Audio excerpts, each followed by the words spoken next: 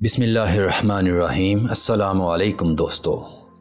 आपने आज तक सुल्तान मोहम्मद फ़ातह का अज़्म, सुल्तान सलीम अव्वल का जलाल और सुल्तान सलेमान आलिशान के तदब्बर के लातदाद किस्से सुन रखे होंगे। ये वो उस्मानी हुक्मरान हैं कि जिन्होंने अपना खून देकर सल्तनत उस्मानिया की जड़ों को मज़बूत किया। लेकिन दोस्तों, बदकिस्मती से इस सल्तनत की हुक्मरानी कुछ ऐसे सलातीन के हाथों में भी रही है कि जिन्होंने मैदान जंग में उतरना तो दूर अपनी शाही हरम से बाहर झांकना भी गवारा ना किया। तलवारों की गनगरद से ज़्यादा कुंगरू की जनकार को तरजीह दी।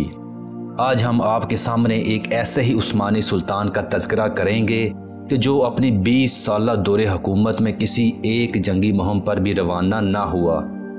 बल्कि ये अपने दौरे इकतदार में कभी इस्तंबुल की सरहदों से बाहर तक ना निकला।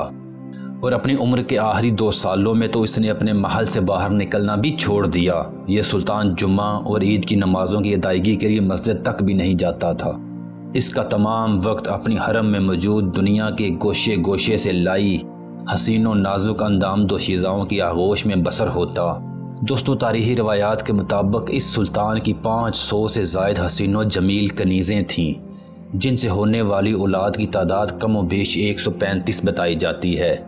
दोस्तों, ये ज़िक्र है सल्तनत उस्मानिया के बारहवें सुल्तान सुल्तान मुराद सालिस का, जो सुल्तान सलीम सानी के सबसे बड़े बेटे और सुलेमान दी मैग्निफिशन के पोते थे। ये 1546 ईस्वी में उस वक्त पैदा हुए कि जब इनके वालद सलीम सानी सुल्तान नहीं बने थे, बल्कि अभी वो महज एक शहजादे थे। सुल्तान सुलेमान दी मैग्निफिशन ने अपने पोते की परवरिश और तरबियत के लिए इंतहाई नामवर उस्तादों को मुकर किया। जब ये शहजादा मुराद 20 साल की उम्र को पहुँचा तो सुल्तान सुलेमान इस जहाँ फ़ानी से कूच कर गए और उनके वालद सुल्तान सलीम सानी को तहत उस्मानी पर बैठना नसीब हुआ। हसब दस्तूर सबसे बड़ा शहजादा और सल्तनत का अगला दावेदार होने के पेश नज़र शहजादे मुराद को मनीसा नामी इलाके का गवर्नर बना दिया गया। मुराद की शहजादगी के ज़माने में ही उसकी मुलाकात एक ऐसी लड़की से हुई, जो उसकी पहली और दायमी मोहब्बत साबित हुई। इस औरत का नाम सफ़ी सुल्ताना था, जो मुराद की कज़न आयशा सुल्तान ने इसे बतौर तोहफ़ा दी थी। मानिसा की गवर्नरी के दौरान ही सफ़ी सुल्ताना से मुराद का पहला बेटा, यानी मोहम्मद, पैदा हुआ। सन 1574 में मुराद को अपने वालिद सुल्तान सलीम सानी की मौत की इतला मिली, जिस पर यह फ़ौरन इस्तंबुल पहुँचा और तहत उस्मानी पर जा बैठा। सुल्तान बनने के फ़ौर बाद मुराद सालस ने जो पहला हुक्मनामा जारी किया, वो अपने पाँच भाइयों के कत्ल का था। अपने दौरे इकतदार के इब्तदाई पाँच सालों में मुराद सालस की कारकर्दगी बहुत ही शानदार थी। वो ना सिर्फ़ अमूर हुकूमत में दिलचस्पी लेता, बल्कि सल्तनत की तरक्की के लिए नए नए मनसूबे भी तश्कील देता, जबकि उसकी खानगी ज़िंदगी सिर्फ़ सफ़ी सुल्ताना तक महदूद थी। ये अपना तमाम तर वक्त उसी के साथ बसर करता। और महल में मौजूद किसी दूसरी कनीज़ की हाजत महसूस ना करता। इस बात ने सफ़िया सुल्ताना को शाही हरम में सबसे मुमताज़ खातून बना दिया था, जो हरम की सरबरा और वालदा सुल्तान नूर बानो को बिल्कुल भी गवारा ना थी। नूर बानो सुल्तान दुनिया भर से मुंतब करदा हसीनो जमील कनीजें ला कर अपने बेटे के सामने पेश करती, लेकिन सुल्तान मुराद सालस को इनमें कोई दिलचस्पी ना थी।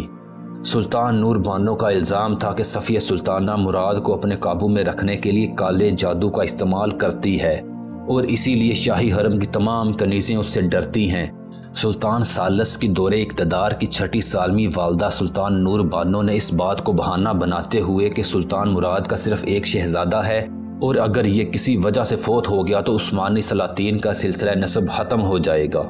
उसने अपने बेटे मुराद सालस को इलाज के लिए मजबूर किया।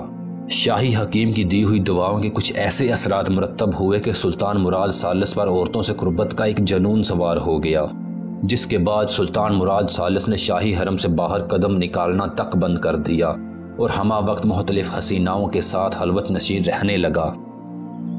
सुल्तान मुराद सालस ने यह तरीका ज़िंदगी अपनी मौत यानी सन पंद्रह सौ पचानवे ईस्वी तक एहतियार किए रखा। उनकी मौत शाही हरम में ही वाक़ हुई। कि जब उनकी उम्र सिर्फ़ अड़तालीस साल थी, सुल्तान मुराद सालस की मौत के वक्त उनके ज़िंदा बच्चों की तादाद छियालीस थी, जिनमें से 26 लड़कियाँ और 20 लड़के थे, जो अलग अलग कनीज़ों के बतन से थे। इसके अलावा सुल्तान की मौत के वक्त उनकी दस कनीज़ें हामला थीं, जिन्होंने सुल्तान की मौत के बाद उनके बच्चों को जन्म दिया।